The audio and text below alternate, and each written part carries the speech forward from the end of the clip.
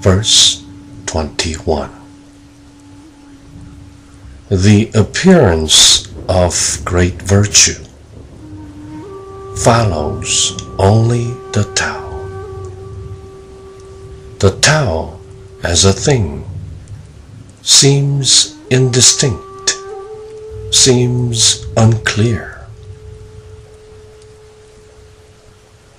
큰 덕은 모든 것을 받아들이며 돈은 오로지 그 덕을 펼칠 따름이다.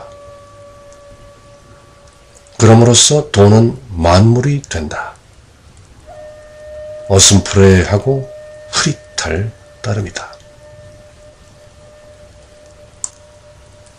So unclear, so indistinct. Within it there is image. So indistinct, so unclear. Within it there is substance. 흐릿하고 어릿하며 그 가운데 상이 있다. 어릿하고 흐릿하며 그 가운데 물이 있다. So deep, so profound. Within it there is essence.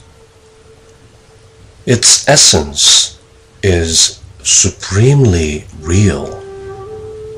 Within it there is faith. 그윽하고 어두우며 그 가운데 정수가 있으며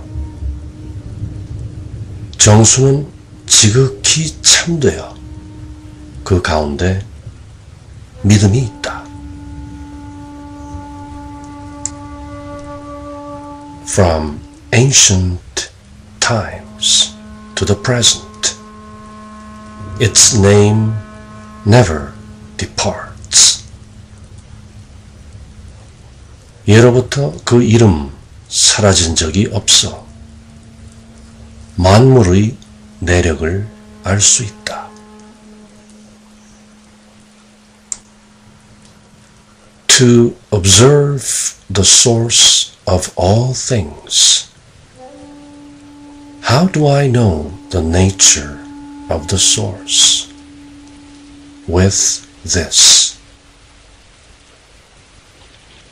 만물의 근원을 알 수 있는 것은 바로 이런 까닭에서이다.